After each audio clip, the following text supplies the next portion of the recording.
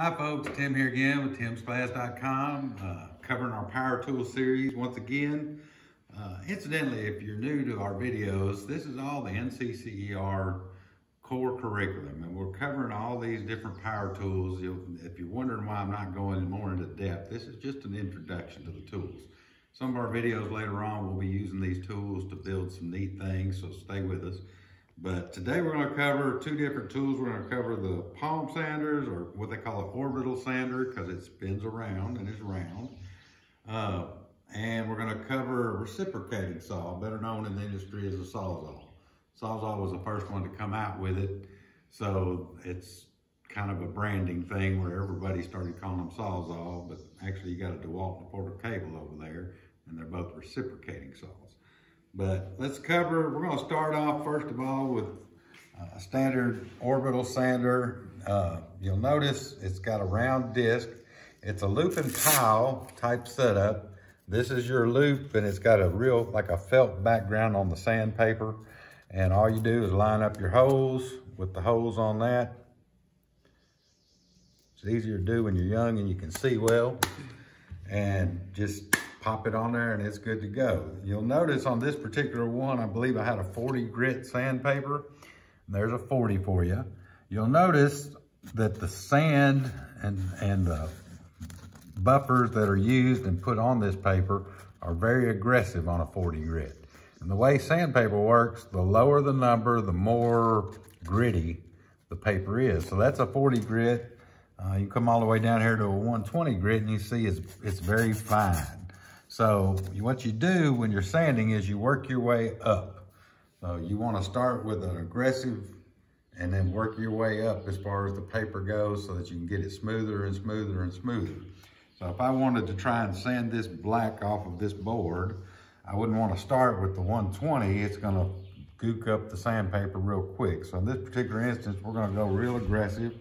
We're going to go with the 40 grit to start with, and then we'll take the battery operated one and I've already got a 120 grit on it and we'll smooth it up.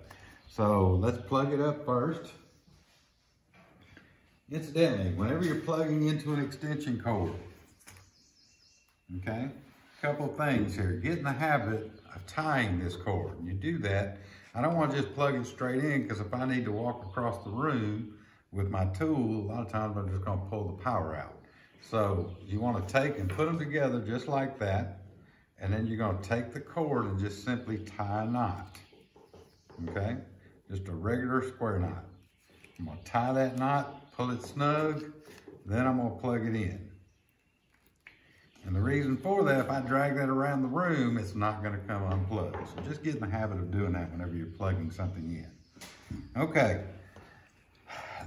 Very simple tool, not a whole lot to it. You got a dust collector tray right here that snaps on. You just simply put it on and lock it on. It's good to go. I already showed you how to put the sandpaper on. Now it's just a matter of on and off. All right. This tool is just a great tool to use when you need to sand something down. So let's go ahead and sand some of this black off.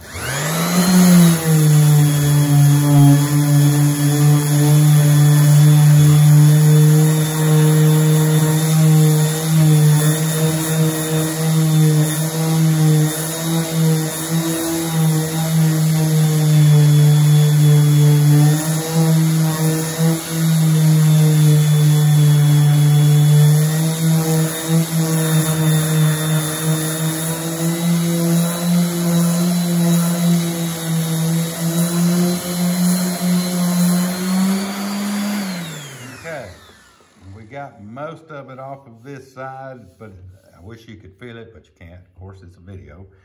But it's a rough. It, it's, it's not a real smooth finish, and that's because of this 40 grit sandpaper. It's not meant to give a real smooth finish.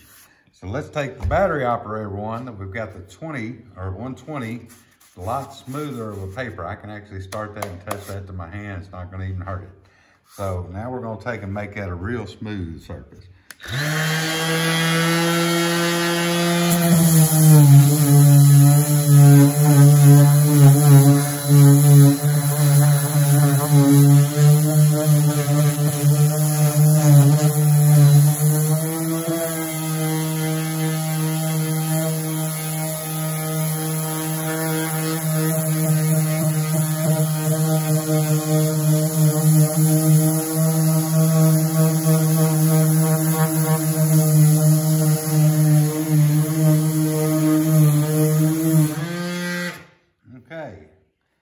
See how that just really smoothed it out, brought out the wood grain. I mean, it just made for a real pretty board. It's quite a transition from this to this. And that's what these orbital sanders are for.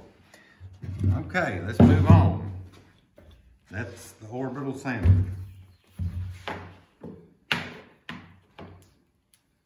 Next tool we're gonna cover is the reciprocating saw. Like I said, in the industry, when you're out there, more than likely somebody's gonna call it a sawzall. All right, before you change the blades, make sure the power is disconnected, whether it's battery or cord. This particular one has got a, it's a, it's a real simple blade change. You can see you've got a little gear right here that all you do is push that button Push it that way, and the blade's gonna pop right out. Put your blade back in. You'll notice the blade's got a little spot. When I push that back, that's what's locking it in. There's a little gear that, or a little uh, steel rod that pokes in, pokes through that hole and holds that blade in place, okay? Let's plug it up. Well, actually, let's go on over it, okay? This saw, once again, very useful, used a whole lot in the construction business. Um, it's used primarily for demolition or if you mess something up. These blades are what they call bimetal blades, so they'll cut through wood, they'll cut through steel. If I need to cut nails, they'll cut right through nails like they're not even there. So it's a very aggressive saw, great for demolition work, great for if you mess up something, maybe you're framing a wall and you've got some studs out in the wrong place, you need to, it's better to cut the studs out than it is to beat them out. So use this saw appropriately according to whatever your needs are. All right. I'm gonna plug this up, same manner.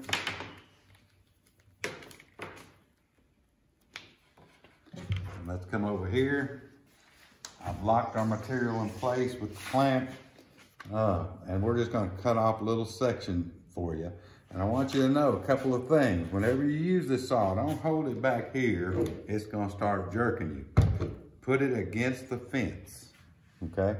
Always put this fence against your material. So I'm gonna put that against the material. see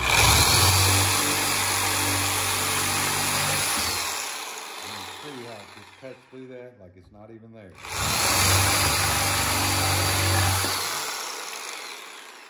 Okay?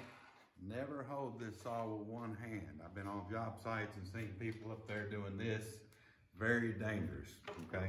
Always hold this with two hands. You hold this side with the throat, it's called the throat. Hold it with your left hand if you're right-handed, vice versa, okay?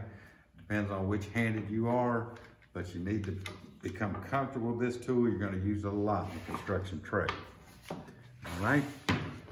Now we're gonna take uh, the battery operator one, same thing.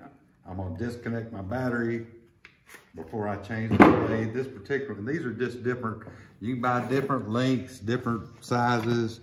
This is a metal cutting blade, and you can see it's got really, really fine teeth. So the more teeth it's got, the finer it's gonna cut. And this is for cutting metal. So I'm gonna put a metal cutting blade in here. And on this battery operated one, put out by DeWalt, you got, this is what holds your blade in place. So I'm gonna push that back slide my blade in, let it go, it's locked in place. That's simple, okay? Let's swap out and let's cut a little piece of steel so you can see how this works. I've just got a small piece of steel here that I'm gonna lock here into the vise. We're all set and ready to go. Let's put the battery in. All right, and it's ready to go. Same thing. Put your fence against the material. Cut right through the piece of steel. That's because of the blade. Learn to choose the proper blades. Learn to choose the proper tool on what you're doing. And that's it for today's lesson. Hope you got something out of it.